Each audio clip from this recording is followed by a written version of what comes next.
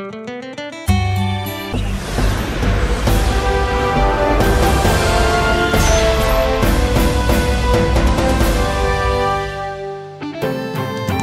और आप देख रहे हैं पल पल। एक अज्ञात बीमारी की चपेट में आने से गाँव बलियाली के सैकड़ों पशुओं की मौत हो चुकी है। पशुपालकों ने सरकार से मुआवजे की मांग की है।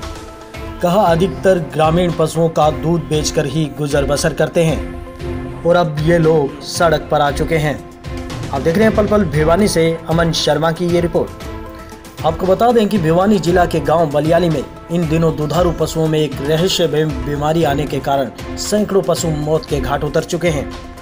वहीं बीमारी के चलते गाँव बलियाली के सैकड़ों पशुओं में कई अलग अलग तरह के लक्षण देखे जा रहे हैं। इस रहस्यमयी बीमारी के चलते सैकड़ों पशुओं की मौत हो चुकी है। इस भयंकर बीमारी के बाद में ग्रामीणों ने पशुपालन विभाग के अधिकारियों को भी अवगत करवाया है, जिसके बाद पशुपालन विभाग की टीम गाँव पर पहुँची। लेकिन पशुओं की मौत के बारे में अधिकारी भी कोई संतोषजनक जवाब नहीं दे पाए। वहीं विभाग के अधिकारियों के अनुसार मौसम के बदलाव के चलते दुधारू पशुओं में बीमारियाँ फैल चुकी है।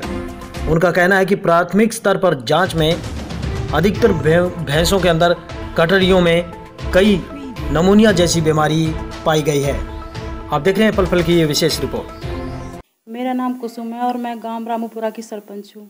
हमारे गाँव में बहुत पशुओं में बहुत भयंकर बीमारी आई हुई है। उससे कम से कम ढाई सौ, तीन सौ पशु ख़त्म हो चुके हैं, जिसमें छोटे बच्चे, पशुओं के छोटे बच्चे ज़्यादातर हैं।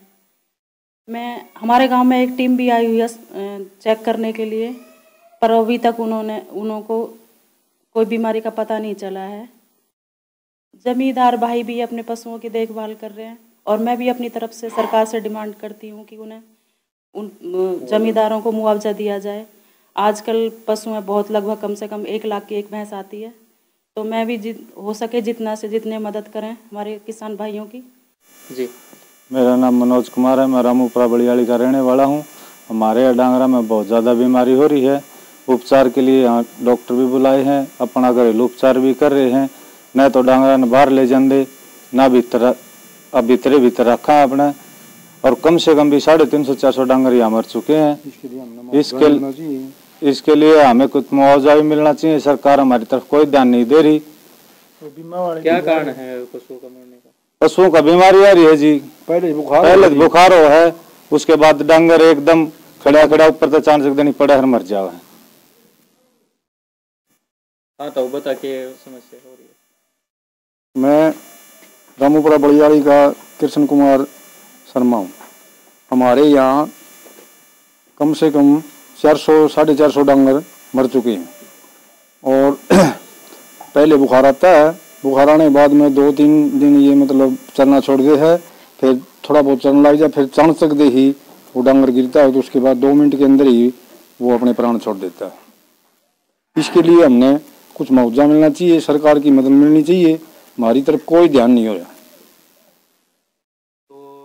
डॉक्टर वगैरह वो किस कौन सी बीमारी बता रहे हैं कुछ डॉक्टर साहब तो कहते हैं जी इसका हेड फैल हो गया इसका हार्ट अटैक हो गया इसका गड़गोटो हो गया इसका नमोनिया हो गया कई तरह की बातें करते हैं।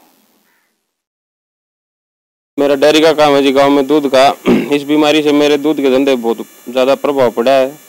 धंधा बिल्कुल आधा हो चुका है। गाँव में ढाई सौ तीन सौ के करीब डांगर पशु थे वो मर चुके हैं। जमींदार थे वो बिल्कुल ये समझो आप उनकी कमर टूट चुकी है। कि कारण से पशु बीमार हो रहे हैं? जी पशुओं में बीमारी आई हुई कोई उसका डॉक्टरों को पता नहीं है क्या बीमारी है। पशु एक दो दिन बीमार रहता है और तीसरे चौथे दिन वो मर जाता है। और जमींदार अपने लेवल पे प्रबंध कर रहे हैं कोई घी दिला रहा है कोई टीका लगवा रहा है कोई दवाई पिला रहा है लेकिन उससे कोई भी असर नहीं हो रहा है। और गाँव में जो पानी है जोड़ का वो भी बिल्कुल बेकार हो चुका है। दो चार पशु आते थे पीने के लिए, वो भी अभी आने बंद हो चुके हैं। गाँव वाले जोड़ पे ले जाने से खोप में है, क्योंकि बाहर निकलते बीमारी घेर लेती है, इसलिए लोग पशुओं को अंदर ही रखते हैं। और जो मैन दरवाज़ा उसके आगे चूना डाल के रखते हैं, अगर कोई अंदर आए तो उसके पैरों से कीटाणु अंदर ना आए।